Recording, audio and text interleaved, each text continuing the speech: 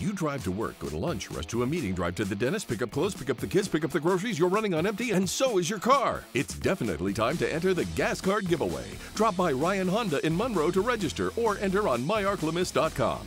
Then watch KTVE NBC 10 News weeknights at 10. If your name appears on the screen, call in before the end of our 10 p.m. newscast and you win a $50 gift card. The Gas Card Giveaway. Weeknights on KTVE NBC 10 News at 10. Brought to you by Ryan Honda.